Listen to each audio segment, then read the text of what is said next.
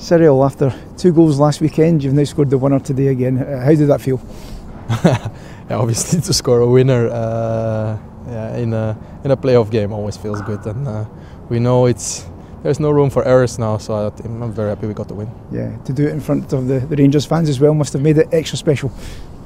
Yeah, no, obviously then it's really special. Uh, I think uh, I want to celebrate, and uh, a few jumped over, I don't know, over the fence. But uh, yeah, that's that's what you want. It's it's you can feel the the emotion, the the excitement at that moment, and, and, that's that's what, what football is about. Yeah, the team had to be patient today, but of course the, the assist came from James Tavernier for your goal. Uh, fantastic moment from him, uh, a great delivery. Yeah, no, it's it's not new for Tav. I think he has uh, not only this season but also in, in his whole career. Like uh, he's given a lot of assists like this, but it was an it was an unbelievable cross, uh, which uh, the, the, goalie uh, misread, and then, then I was there to, to make the goal. Can I get your thoughts on the, the overall performance today? Because coming to St Mirren is a, it's a tricky place to come to.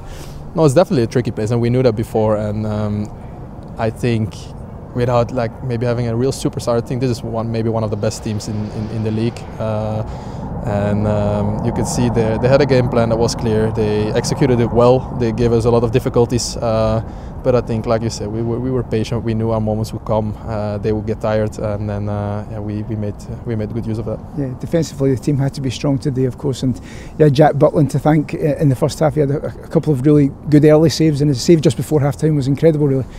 No, yeah, no. It's, it's also that that's not new. I think Jack uh, has been there for us in, in, in important moments, and I think today, today is a game that, that he can pick out like as an important game again. He was he was amazing. He, he kept us into the game with his saves, and especially the one uh, right before halftime was uh, I was I was looking at it was unbelievable. So. Uh, I'm really happy with him as well. Yeah, and that's 20 goals now uh, for the for the season for you. You must be very pleased to get to that uh, that milestone. yeah, no, obviously, 20 goals is is, is, is, a, is a beautiful number. Uh, I don't want to stop there. I want to I want to keep going. I want more.